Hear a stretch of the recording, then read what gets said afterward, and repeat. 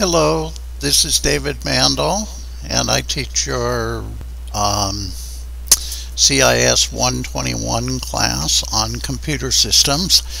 And I'm making this video to make a uh, few comments on um, computer ethics. We studied computer ethics a couple weeks ago if you're in my spring of 2017 class.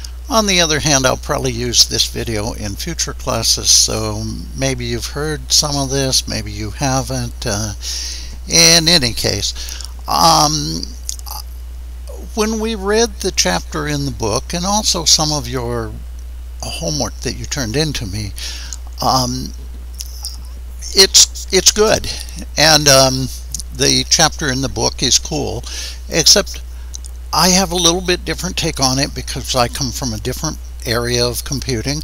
Also, it seemed to me like it was too te textbooky. It's ethics by the man, kind of. Uh, it's what big corporations want you to think about ethics, and maybe not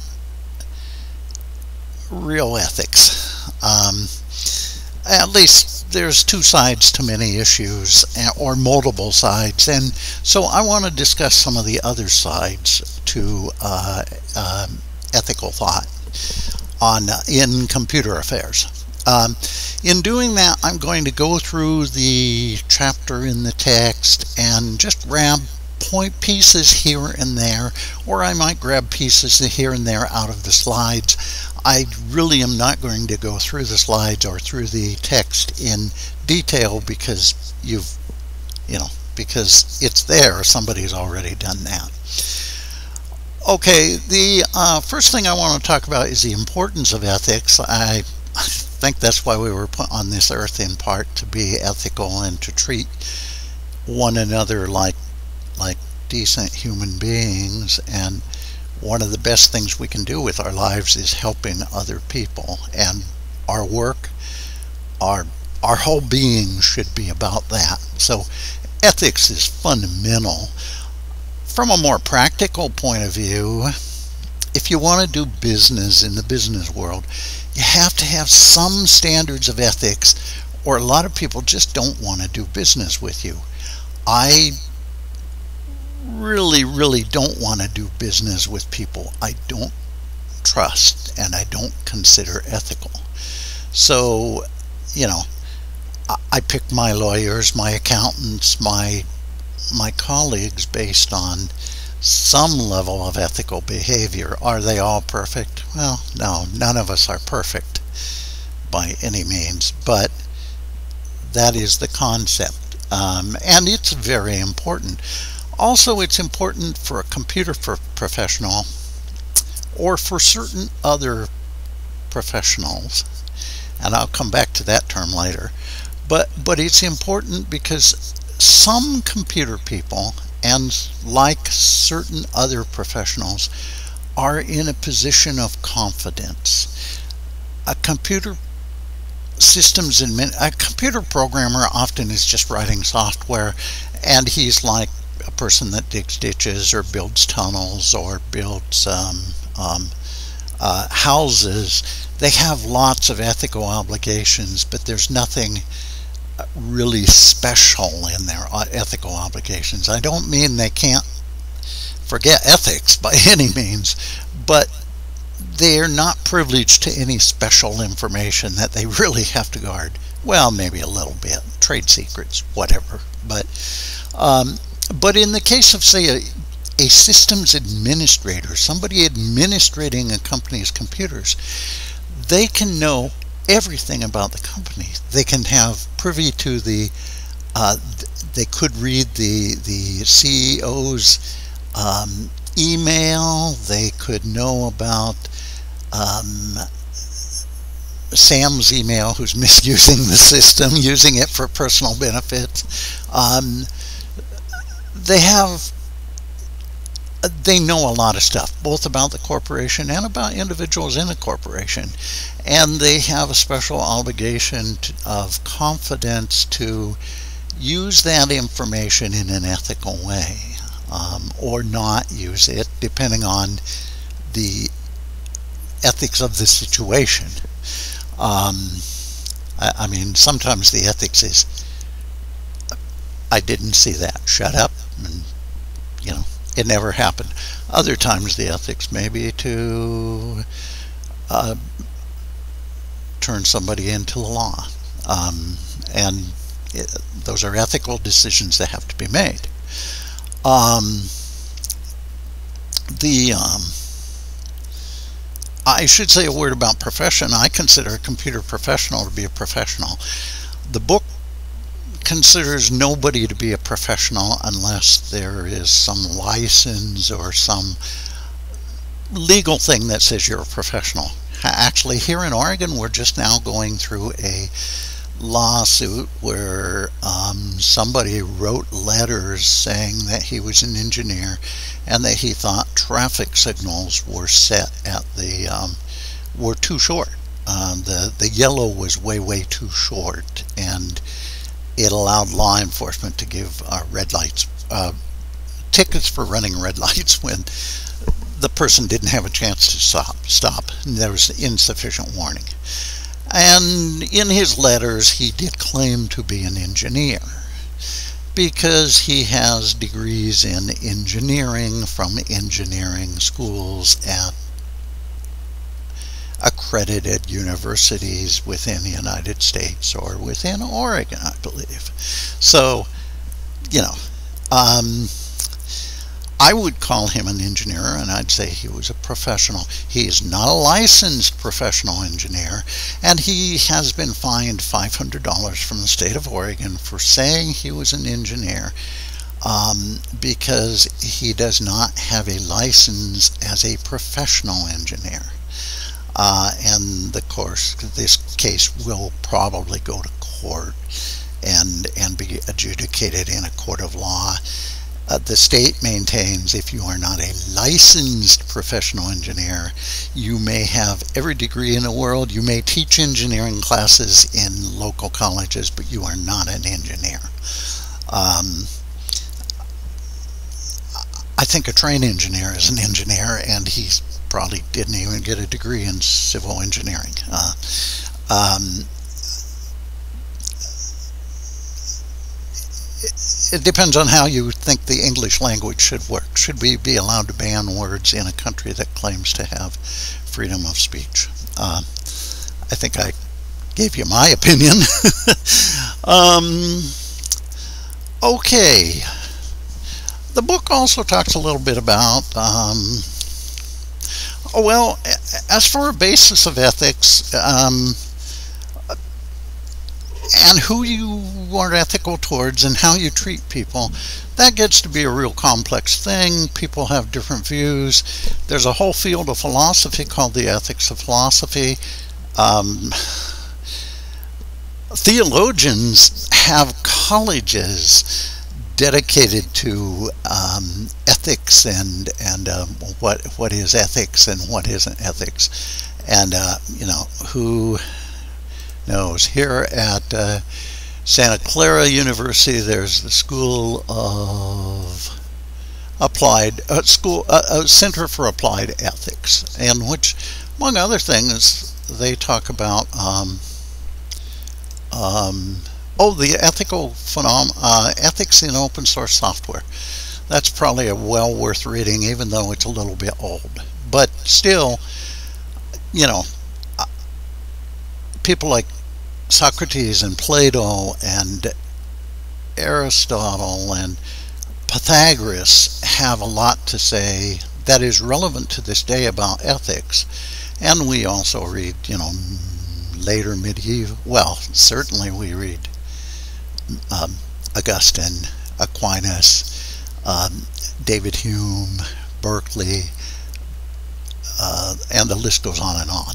Um, uh, Kant, um, in, in terms of our ethical philosophies. So, um,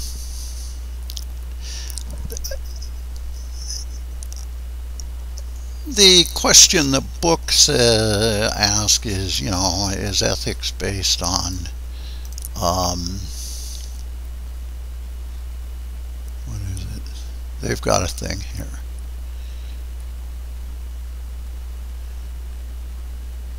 Well, you know, what role does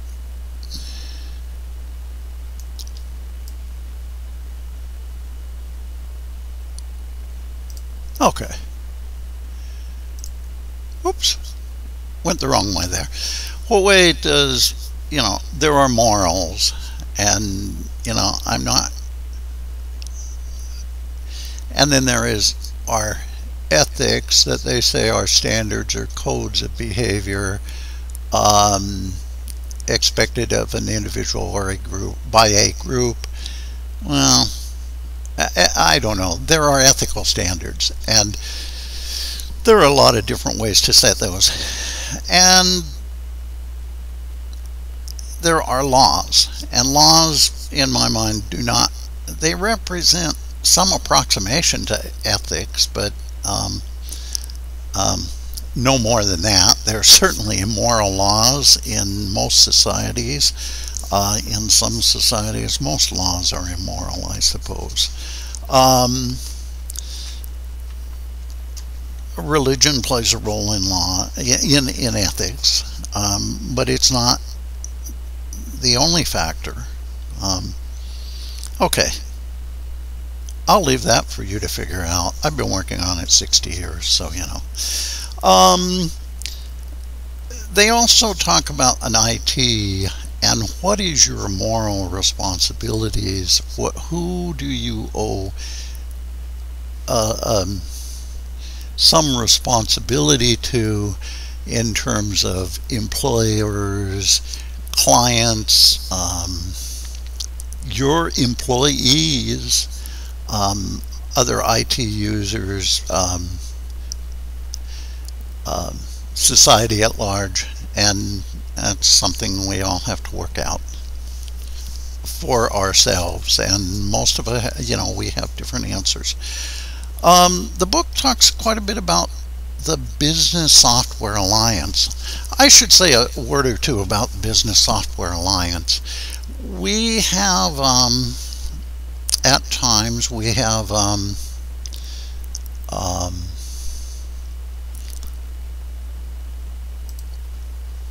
Oops. Um, the Business Software Alliance is an alliance of some of the biggest software companies in the U.S. and hardware companies. And they try to set up certain standards. Their standards really are to protect them.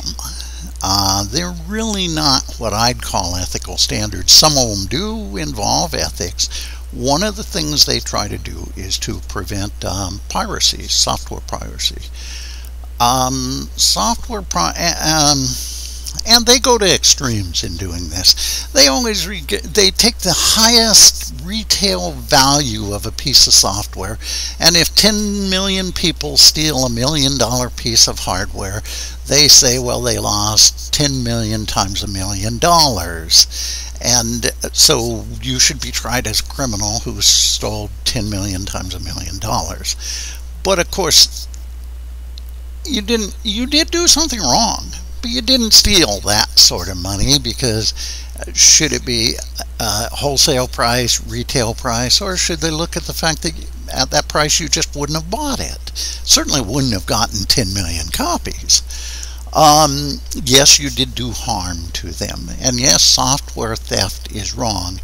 But some of the um, propaganda that we are given is also wrong. It's not quite as wrong as they say. Um, that's not to say that software piracy is acceptable, because I personally do not find it acceptable or that there are not penalties for it. I know of quite a few cases. I'm an open source guy, so I don't have to worry about a lot of this.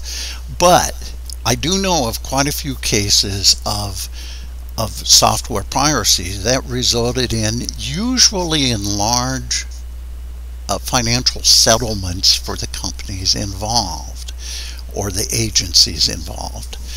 Um, in I've heard of cases in West Africa, in Mali, in Niger, in countries with very, very little money where nonprofits doing charitable work used software that was uh, questionable, stolen.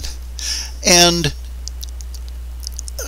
I think companies kind of allowed them to do this for quite a while so that they would really get into this and they'd use a lot of this. And then they came down with the force of law on these nonprofits, virtually bankrupting them and and ending a lot of their good services to help people because they then had to pay lots of money to these software companies be for software which was pirated. And they just didn't have the money in their budgets. That's why they pirated it in the first place because they couldn't afford it. Um, now their solution was more and more they were looking towards open source software which they should have been all the time. But um, but um, or cheaper alternatives. But you know it's a bad event. I was saw I saw a couple other events where disgruntled former employees seem I, I think I mean you never know because it's done anonymously. But where I think disgruntled former employees turned in companies for software piracy. In the two cases that come to my mind the disgruntled former employees had been in a position to install pirated software onto uh, computers prior to uh, their departure from the company. So, and I don't know if they were authorized to do this or if they did it on their own. Uh, in other words, I'm saying it was. Um, it, this may have been used as a way of stabbing companies in the back. Uh, the companies may have been perfectly innocent. They still had to pay rather large settlements to the um, Software Business Alliance. Um, one of the, uh, and in the extreme, you can even go to prison for this. There's been several people in Oregon gone to prison. One person in particular that comes to my mind was Wayne and Koki Shu um, I they come to my mind. Wayne um, Wayne and Koki funded one of my high tech startups, so uh, doing open source software. It was quite legitimate, 100%. But they were uh, they had a business on the side in Vancouver, Washington, where they were um, um, um remarketing software and hardware. Um, mostly that came from the Far East. And they were doing it apparently in some rather creative ways. I have to admit, I I did not work in that division of the company, but I had suspicions funny things were going on. I had no idea what was going on um, because I was leading a development team. But um, they were basically taking software that had come from legitimate sources, original like Microsoft type software on Microsoft type disk, but it had strange licenses, like maybe it was only licensed for use in the Far East, not for use in the Pacific Northwest, or there was some issues with license. Maybe it was only licensed for use from uh, on hardware manufactured by Dell computers or something like that. It was there were limited licenses. They didn't come with full licenses. It was true Microsoft packages. And then they would acquire licenses from somebody else where they could get the licenses, but they couldn't get the um, uh, but but they couldn't get the hard the the hard part of the software, the the DVDs, and they would put the two together, which is rather illegal. And um, Wayne was sentenced to three years in prison. I don't know how much time he actually had to serve, but most of the three years, I believe.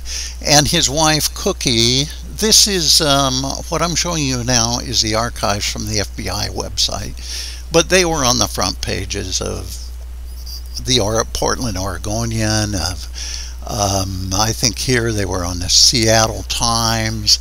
You know, they they made the headlines. Um, and I think it says here, oh yeah, the Koki, Shu's wife Koki was sentenced to 30 days. Oh, based on fraudulent income tax filings. Plus, they had to pay substantial fines and income taxes, and you know, I, I I'm quite sure it left them very poor and impoverished. And and of course, since 10 or 15 of their relatives, well, 10 maybe, since many of their relatives worked for their company when the company went under, all these people were unemployed. The whole family, everybody. And Wayne and Koki being immigrants, I suppose, you know, their kids, of course, had to. Um, had been in private schools. I'm sure they didn't have money to continue with those schools. Um, their um, their family was unemployed, the, the, whole extended family, and since they were immigrants, I they I don't know if anything happened, but they could have been liable to be deported. And one or both of them were probably wanted in their home country. So, uh, you know, potentially not a good thing. And I haven't checked, I don't know all the details on um, um, uh, what's happened with them. Um, I do know that Koki's sister and brother-in-law have been very successful. They opened a restaurant and they've done well since then. But um, but it's uh, not a good thing. Anyway, there's no yeah, software piracy is wrong. So, in spite of all this false propaganda about it, it it's wrong. You shouldn't do it, and you don't need to do it. We live in a world with terrific open source software, which I'll give a video on someday, and I, just don't use proprietary software. It's too dangerous. There's too many risks involved. Well, I, I, I lie. I do use proprietary software. But most of what I do is with open source software, which is licensed uh, in such a way that it's hard to get into trouble. Now, the, your textbook did talk about one case where somebody got into a little bit of trouble using open source software, but um, that's very, very rare, and I think they were doing something quite bad. Um, open source software is generally um, good in that it comes with source code or you can get source code for it you there's a couple different branches of open source software. One's big branch is brand, uh, um, licensed under something called the artistic license where you don't even have to give out source code if you modify it.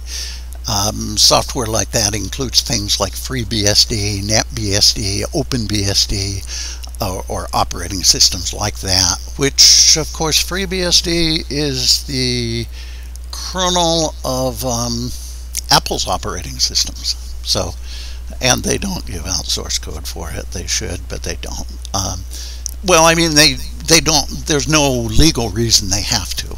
It's the license doesn't require that. The other branch is called the uh, GPL or GNU or something like that. Uh, we usually call it the GPL, the GNU GPL. Uh, GPL stands for General Public License, and there's a version one to five. I, I you know, there's lots of details. Um, that does have the requirement that if you get the software, if with source code, you modify the source code and you start to redistribute the binaries from the modified software, you must also redistribute the source code under the terms of the license that you got it under. So it means that once something's open source, it remains open source. It's, mm, some people say a bit of a virus. It is a restriction, but it's an easy restriction to keep. If you're fair and honest, it's, you know, it, it, it's easy to keep. And actually, as I read the license, if you do not redistribute the software, uh, the modified version of the software, you don't really have to make the source code available. So if you're just, um, what is, so it doesn't inconvenience most users because most users aren't redistributing the software. Many of us do redistribute the software and it's not an inconvenience to make the source code available either, especially because we've got good systems for that. Okay, uh, then other thing the book talks a little bit about is whistleblowing. Uh, you know, people like Edward Snowden, Chelsea Manning, uh, maybe, well, there, there's always whistleblowers. Somebody, and you may be a whistleblower. I, I mean, if you find something going wrong with your company, in your company, or maybe somebody is doing something bad, wrong, you've got a number of choices. One, and it's not a bad choice, is ignore it. It's not my business. I didn't see it. Uh, of course, if you had to see it, or if your job was to see it, you can't quite say that. But one choice is ignore it, and it's not, it's often a very good choice. Another one is talk to the person in question and try to work out something with them and just get it done uh, privately and confidentially. Or you could turn it into your company, or worst comes to worst, you might have to take it to higher authorities, turn it into legal law enforcement, or which I have never had to do, thank heavens. I don't think, or or or or turn it over to the press and publish it and put it on people's Facebook pages and and you know make a big deal out of it. Um, that's called a whistleblower. At times, you know, don't do that unless you have to do that. But if if you morally have to do that, do it. There's supposed to be something called whistleblower protection or um, laws that protect uh, some sort of laws that protect whistleblowers. There are none. There may be laws every place. There is no protection for a whistleblower. So when you blow the whistle and it's not you know i highly recommend it if you have to do it but expect to be fired uh, and that's fair. Lots of good people are fired. They go on to do good things. But whistleblower protection laws do not work. They never have worked. They never will work. They, they don't work. Um, witness Edward Snowden today. Witness Chelsea Manning. Witness. I can name hundreds of whistleblowers, and the end is never particularly good. Sometimes it's not that bad. I knew I did not know the man, but in the 1970s there was an accountant at the University of Montana who found illegal activities happening in the athletic department. They were they had students getting um, work study who weren't working very hard, sometimes not at all. Well, actually, sometimes they had died in past years. Sometimes they weren't students, but the checks got signed every month, got cashed, and the money went into the athletic department, um, which may not have been totally legal. Um, however, the judge, the jury, the lawyers all were graduates of the University of Montana um, law school, so legalities are flexible. And in the end, while there was a big trial, the federal government tried to convict a lot of people in the athletic department. Nobody was convicted because they weren't sure who did the wrongdoing. And um, so nobody was convicted. And the accountant who brought this to people's attention in the first place and went through every channel on earth and took two years before he made this public before he went to the federal government he went to the pre the, the he went to people all the way up the rung in the university. He went to the athletic department. He went every place. He went to the president of the university. He finally went to the federal government. He was fired. He lost his job. Um, and then he was offered a job by paying as much or more at Anaconda Corporation, who said they wanted a honest accountant. So, okay, he was fired, but it wasn't that bad. Um, I just want to warn you that with you know with take whistleblowing seriously. Don't believe in whistleblower protection laws. It talks a little bit about H-1B visas, B visas. Um, I'm a big supporter of H-1B visas. I've had a couple employees that we had to do visas on. I'm a big supporter of it when the program is used legitimately. Sometimes it is not used legitimately. It's hard to say what legitimate and not legitimate is, but we've seen gross abuses of it.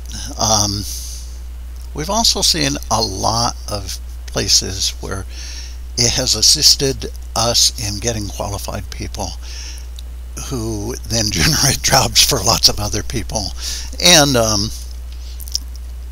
it's a good program when it's properly used. Okay.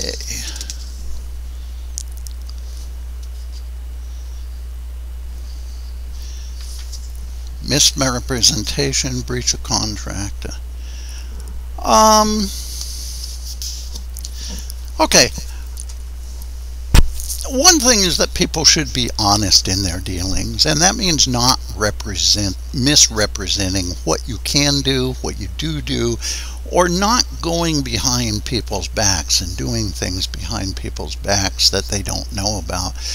I get so annoyed with our system of social media and this media and that media. They give the impression that they're giving something to people for free but as the saying goes, um, what is it? If you don't know who's paying for it, or if you're getting something for free, you are the product. And, you know, that is the case. And, and in most cases, open source software is different. But, but in these social media things, they are uh, there are horrible viruses. They're selling us down the river. They they they take our private information. They then use that for personal gain, without really truly letting people know what they're doing. It's not up there up front. You know, we are selling. We are telling the world what your annual income is. Um, I think whether it's in your personal life or it's in your professional life or it's in your corporation's life, you there is an ethics about what you do with information, how you handle it, who you give it to, how private you keep it, um, and um, um, enough said. Okay, there's a little discussion in here about something called the For Foreign Corrupt Practices Act, uh, which says that it is a crime to bribe a foreign official or a foreign political party official or a candidate for a foreign political office. Um, this was passed many years ago. ironically, it is not a crime if you are a federal employee. it's only a crime if you work for a private company. Um, I do not like corruption. I don't like bribery. But as a former Peace Corps volunteer and person who's lived overseas, uh, you just sometimes have to compromise some to, you know, when in Rome, um, what is it? When in Rome, live as a Roman. And sometimes certain compromises are made. Now, don't be too enthusiastic about them, but but but sometimes you do have to compromise. And I think this law is a little arrogant in its outlook on life. I'm not saying I approve of bribes or or or whatnot, but but there are times when they seem like they're not that bad and they're the only alternative. Uh, I, I, really despise systems that are totally, completely corrupt, and and um, there there are countries. Well, I, I was bothered when you know in Indonesia you would have to bribe a postal official and watch him postmark your stamp at one time to make sure that he didn't take the stamp off the envelope and sell it to the next customer. That is is too far. Uh, in Laos, in Laos during the Laotian War, um, it seemed like there was a bribe that had to be paid for everything. If you wanted to know where the toilet was, there'd be a bribe. Uh, um, it was a very poor country, and it was a very poor country. Um, and you know, having all these bribes did not help. But uh, but but you can understand them. Um, anyway, one does have to use one's discretion there. I um, I'm not a big fan of that law. It is law. It is the law of the land. A law of the world. It doesn't matter where in the world it happens. Maybe if you bribe somebody on the moon, you're in trouble. I don't know. Um, the next thing uh, that the book does not talk about, but it is also a law, as I understand, there is a law that if you're a computer repair guy and you look at computers and you find some, and you should have found and it's a vague law. I also don't approve of this law.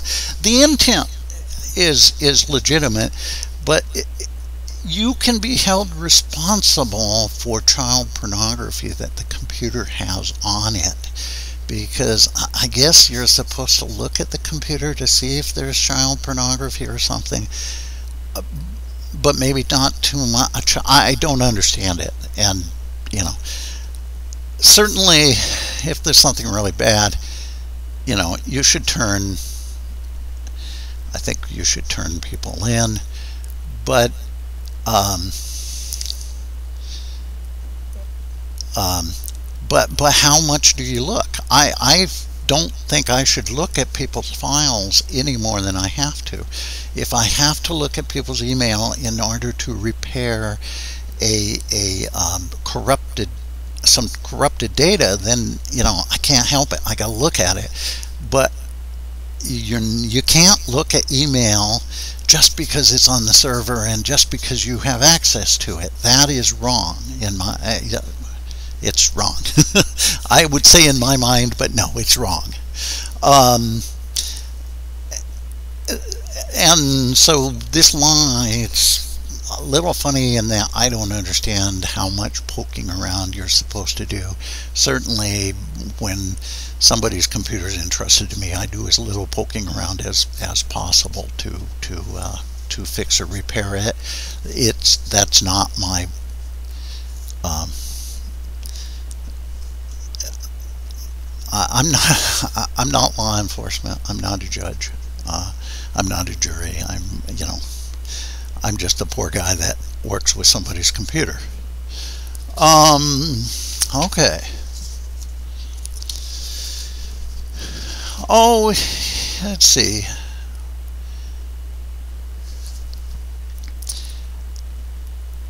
Professional codes of ethics. Well, take it or leave it. I, I don't. Um, there's some value in them and there's some disvalue in them, but there is some value. You know, I really think things like the conflict of interest practices that most that all good attorneys follow are really important, and those are kind of a code of ethics that is enforced by the legal um, enterprise. Um, on the other hand, sometimes they go overboard too, um, or professional organizations do. Now, it does talk here about professional organizations. It lists several professional organizations. It lists the ACM, the IEEE, the, oh, I don't know. And, you know, I guess go out, buy memberships, and be a member. And anyway, I find I'm not big on organizations and professional membership necessarily. What I am big on is networking with people. And where you do that in my community is not in all of these big national organizations. Although I do like the ACM and I I read a lot of IEEE stuff and um, well and SANS too. So you know they're cool. But what I find really valuable is little local user groups. Usually they've got no name. They're you know and or, here in Oregon, we have hundreds of them. And the place to find them is on a website called calagator.org. Spelled just like it sounds, calagator.org. It's a um, calendar of local events by the open uh, that was written by the open source community in Portland for the open source community in Portland. It's got all sorts of events on it. I highly recommend it and I recommend many of these organizations. Here's a free code camp hangout. Here's a Python flying circus. Uh, it's a Python group, programmers group, I take it. Here's the Puppet Portland Puppet user group. Puppet is a systems administration tool. I think mostly for the Linux Unix environment, but maybe it works on Windows. I don't know. Dorkbot, Dorkbot. Those are people who do um, oh a lot of hardware stuff, robotics type stuff. Uh, cool people. I've always meant to go to that myself, but I live in Corvallis. Portland's a long ways. Um, okay. Um, Portland Ruby Brigade, that's Portland Ruby programmers. PDX, Women in Tech. okay. Well, and you see, there's many, many of these meetings every night. Most of them are free, or some of them are held at restaurants, so you'll want to buy a dinner or, or buy some food with with the meeting. Uh, some of them are held at universities. I am a member and kind of one of the chief founders of this one here, the Portland Linux Unix Group, which has been meeting since 1994, yeah, generally at Portland State University.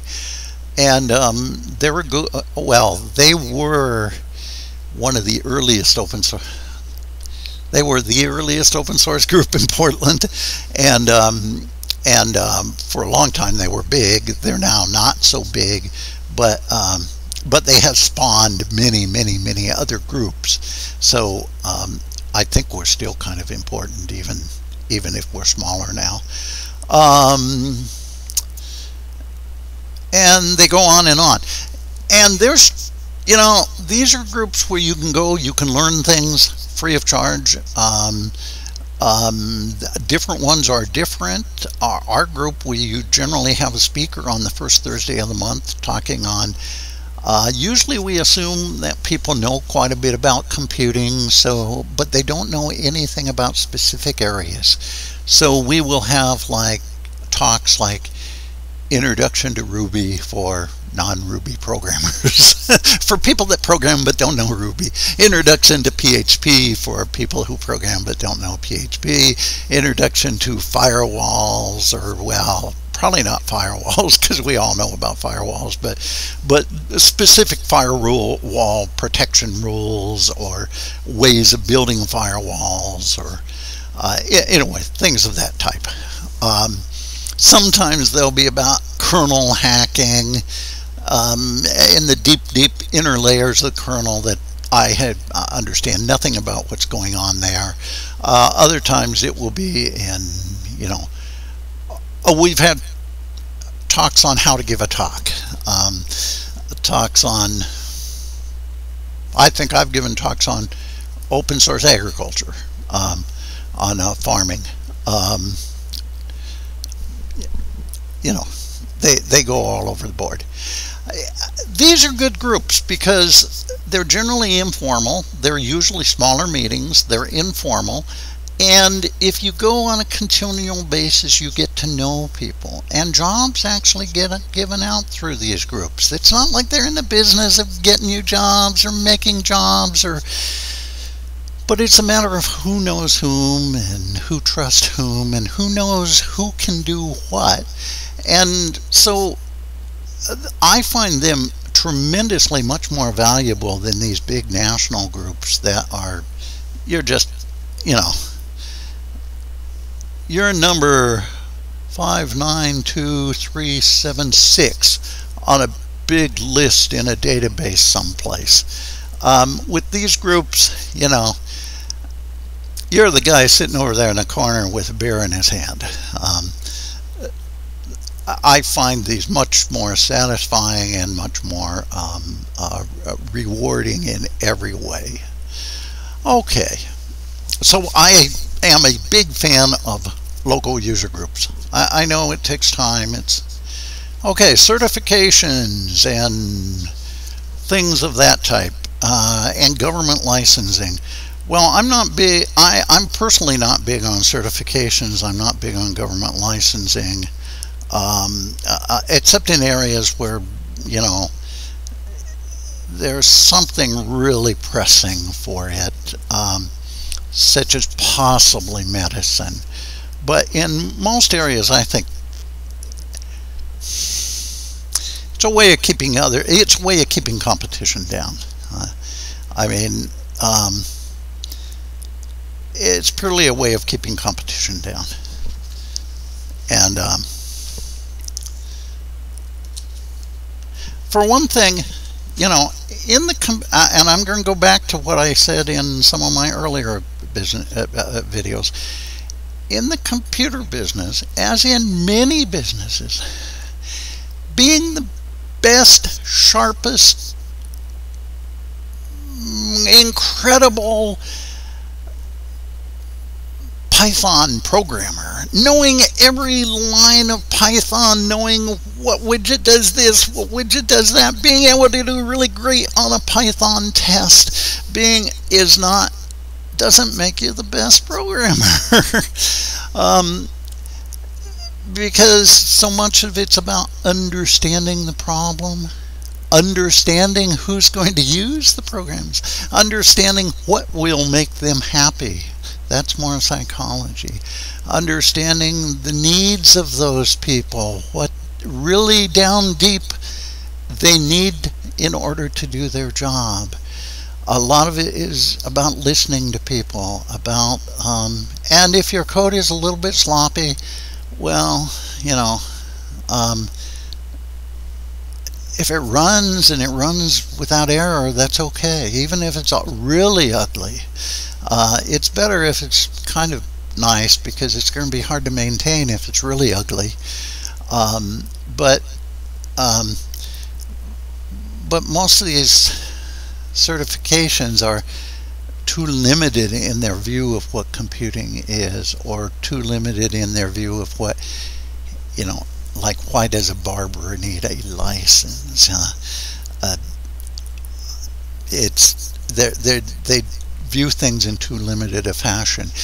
If you want to be effective in this world, really don't be too specialized. Be a compromise where you've got you're the intersection of multiple specializations so that you're the guy that can put together multiple uh, you know multiple people or a team that has foresters and programmers and artists and and maybe a mathematician or two.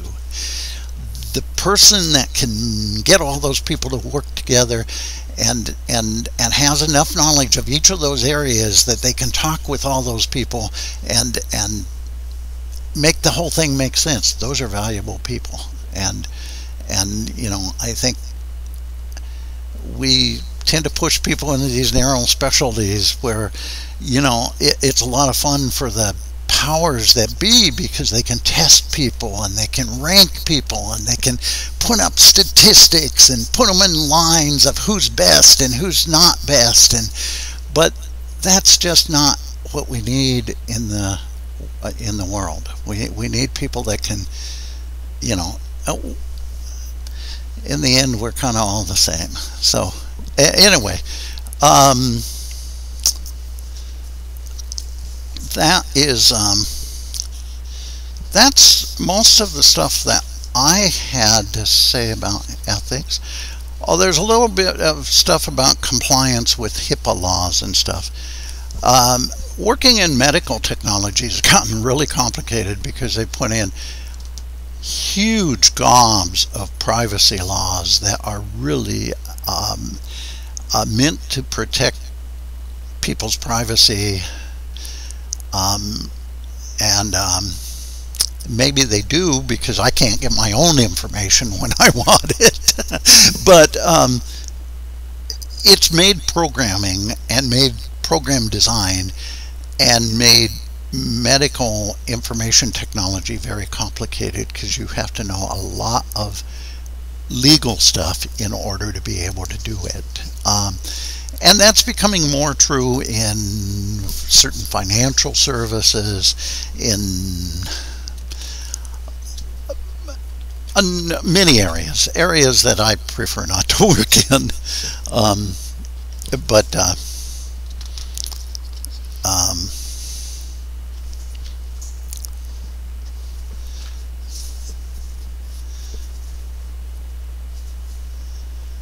okay. Well, that tells that says a little bit about my feelings about computer security. You know, I, I really do, or that says nothing about my feelings about computer security. This tells says a little bit about my feelings about uh, computer um, ethics. Uh, a field that I think is very important and is sometimes neglected because I think it's a really hard field because um, because it just is. I mean, partly there's no simple answers. And different people think differently, and different situations are different. And, uh, um, and, and it's really um, hard to know what to do sometimes. Uh, and, uh, but that's what makes the world fun. And um, thank you. Bye bye.